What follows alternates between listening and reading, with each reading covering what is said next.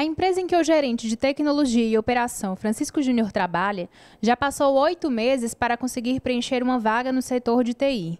Isso porque, segundo ele, falta profissionais com o nível de qualificação exigido pela empresa. Esse profissional, ele, ele é um profissional da, que a gente chama profissional do conhecimento. Ou seja, toda a interação dele é dele com a máquina e as ferramentas que estão inseridas naquela máquina. Isso de uma maneira geral, porque ele vai produzir conhecimento que é absolutamente abstrato, não é palpável. É, e isso é uma das vertentes, que é a vertente mais técnica, porque temos também a vertente que interage com o cliente no sentido de transformar aquele desejo dele em um software ou numa solução e devolver aquilo como algo que de fato faça a diferença na realidade daquela pessoa. Além dos outros aspectos, como as habilidades de gestão e controle do que está sendo executado. A gente possui muitas vertentes nessa área. A dificuldade de preencher as vagas que o Francisco Júnior fala se deve a vários fatores. Segundo ele, além de faltar uma base maior na formação, o profissional muitas vezes não tem iniciativa. Nós temos boas universidades no estado, de uma maneira geral.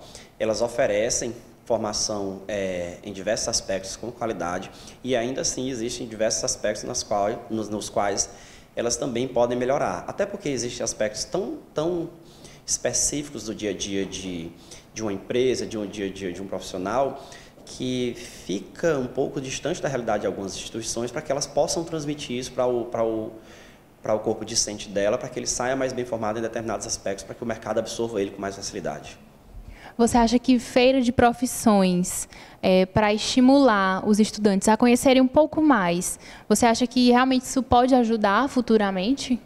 Eu não tenho dúvidas, tanto que tem aproximadamente duas ou três semanas que nós estávamos em uma feira de profissões de uma grande faculdade do Estado, ah, justamente para que nós ofertássemos mais informações e, e, e conhecimento para quem estava lá a respeito de como funcionam as empresas e quais, qual é a realidade de fato de uma empresa de TI, de um profissional de TI, com que de fato se mexe, que isso é uma coisa, é, é um gap a ser preenchido, para que as pessoas se interessem mais, é, e conheçam melhor qual é a preparação que elas, que elas vão precisar ter para serem absorvidas pelo mercado.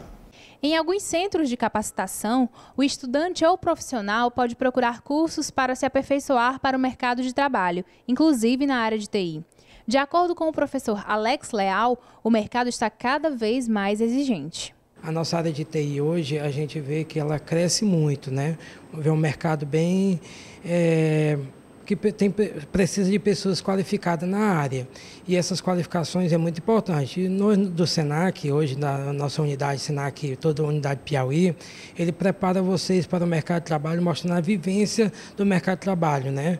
Vocês vão preparar o que vocês vão praticar dentro dos nossos cursos é o que o nosso aluno, é, o nosso aluno vai praticar dentro do nosso curso, é o que o aluno vai utilizar dentro do ambiente corporativo, dentro do ambiente de empresa. E a gente vê que no nosso mercado de trabalho hoje, muitos profissionais na áreas, ela não tem essa qualificação específica e o mercado de trabalho está exigindo.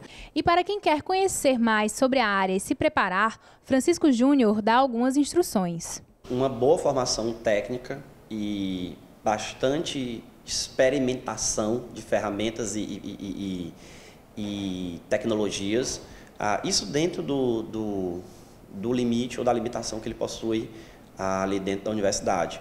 No sentido de que ele não vai precisar fazer tudo, mas ele vai precisar ter um mínimo de, de aprofundamento nas ferramentas que ele conhece e nas linguagens com as quais ele trabalha.